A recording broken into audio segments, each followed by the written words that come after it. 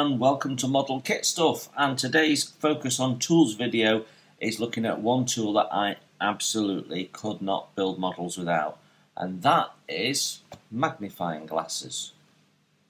So it's a fact of life as we get older our eyes deteriorate and um, if we're really unlucky they deteriorate from quite an early age.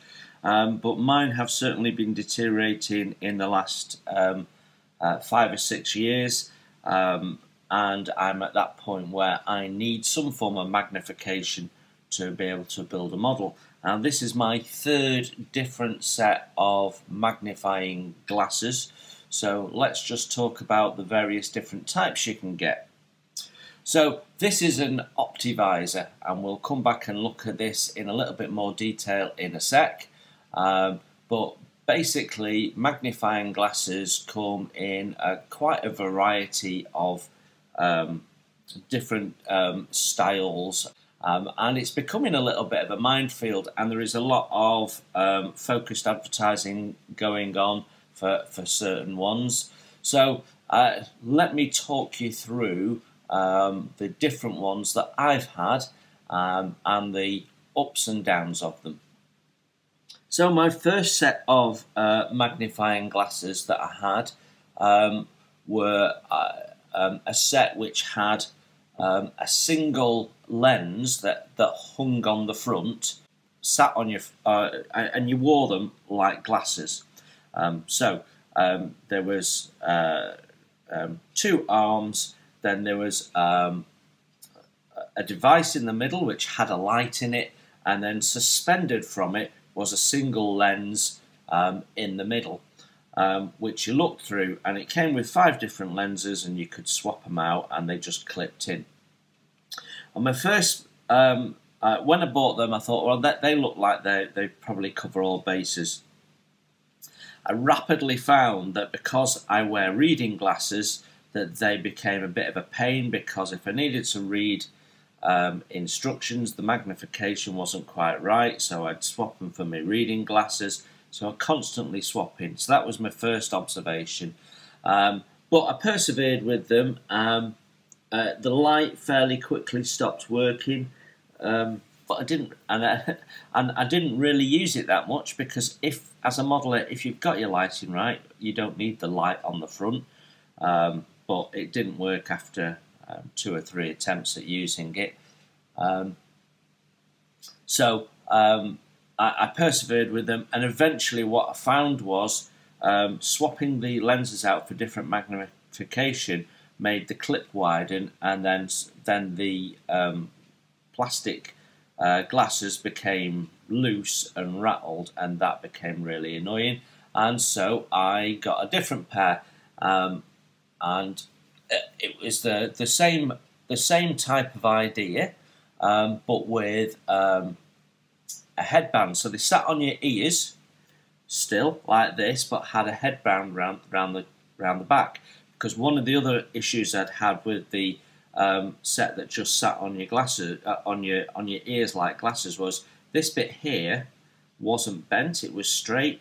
So when you were looking down, there was a tendency for them to just slip down down your nose and start sliding off, and that was pretty irritating as well. So my second set had a little head retaining band, and I had the same issue with those. I was still having to swap them for my glasses, only they were more difficult to put on and off because of the headband. And after a while, um, the the lenses that you clipped in started to get loose and then rock from side to side, uh, and it was really annoying. So I then decided to go with these. Now these aren't perfect either, um, but they are much better because this headband sits on the top of your head um, and that allows me to put my glasses on and off or leave them on with that sat above them and then I can move my, my lenses on and off as I need to. So that's why I bought these and I have found that has solved the problem of constantly changing my glasses. Okay, so this is the Optivisor. Um, the, they they come in a variety, of real real wide range of prices, a variety of prices. Um, and I think some of the cheaper ones might be copies um, and not the originals. Um, so look out for that. Now, I don't know whether I've got an original or not. It certainly came in an Optivisor uh, box when I bought it, and I bought it from um, a website that specialises in tools. So I think this is probably um, the, the, the right one. Um, but some of the ones I see on eBay, um, they're almost half the price. Uh, and it just concerns me that maybe they're just not the same and, you, and they've got you know, key little things like the adjusting nuts are plastic, not metal. So I imagine they might wear out over time.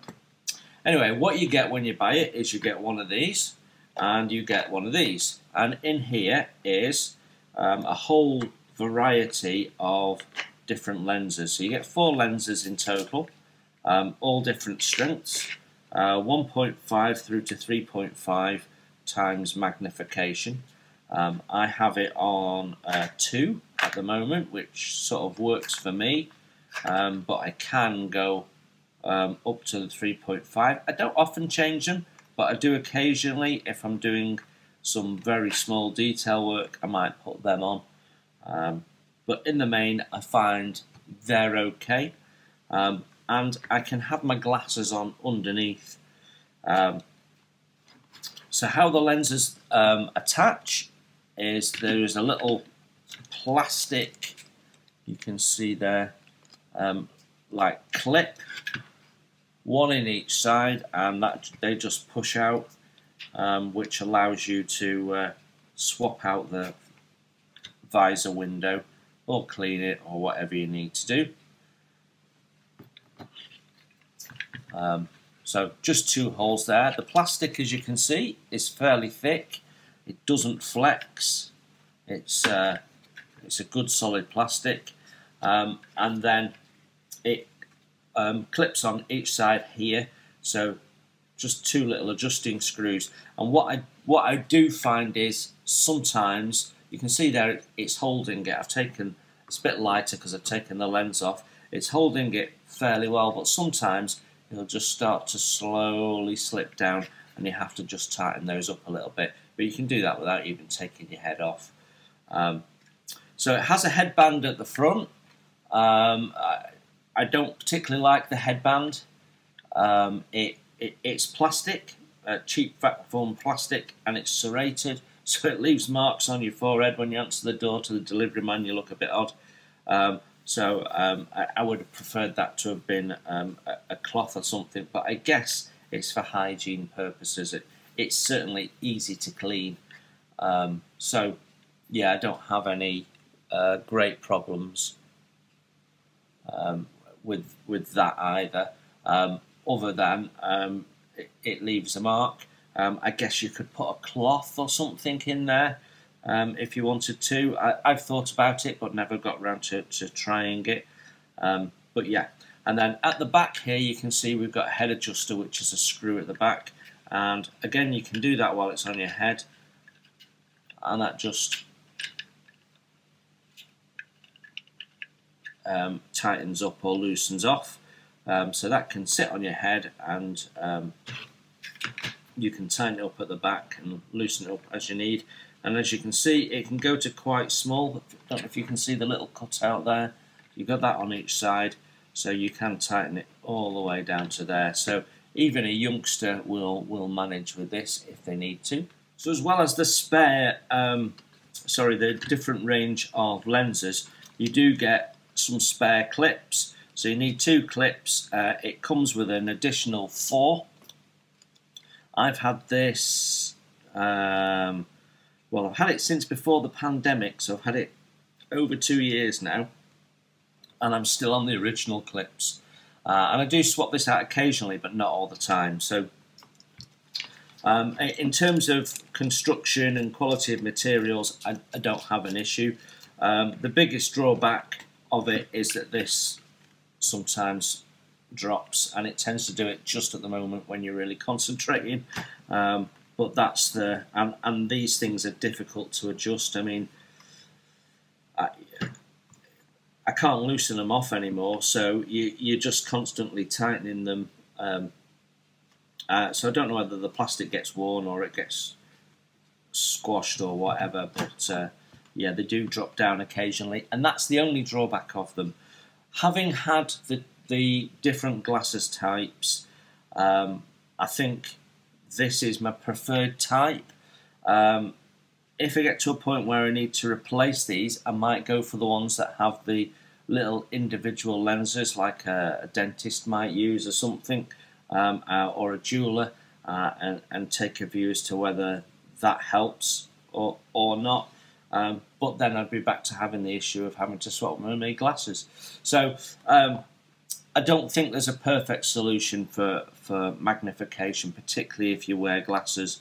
But um, don't get sucked into buying cheap stuff with with um, lots of gizmos on. You don't need a light. You don't need uh, anything else. You just need it to be magnifying glasses, and just have a think about what is likely to work for you. If you wear glasses, you probably want something that means you can leave them on without having to constantly take them off. If you don't wear, wear glasses, then probably the others are, are, are more comfortable but do bear in mind that my experience with two different ones now is that the lenses wear um, quite quickly, 18 months to two years. So um, these things aren't cheap. Um, I, 35 pounds, something like that. I think I paid. Um, you might be able to find them cheaper. You'll certainly find them more expensive. So do shop around. Um, you probably find that places like Amazon and eBay aren't the best places to get them. And if you go to somewhere like um, uh, an airbrush shop or tool shop, that might be the, the, the, best approach to make sure you're getting the right brand. But there you go. Um, I wouldn't be without it. I don't do any modelling um, at all without it. Uh, except for some wooden ship stuff, I can I can um, get away with just my reading glasses. But in the main, 99% uh, of what I do, I'm wearing these, um, and I've found them to be great, like uh, like I've said. So there you go. I, that's my thoughts on um, uh, magnifying glasses. They're a great tool if you need them, um, but do shop around and do think about what's the right type for you. Okay, hope that was useful in some way. If you have any further questions about them, then you can put them in the comments. Um, thanks for looking in, enjoy your modelling, and I will see you very soon.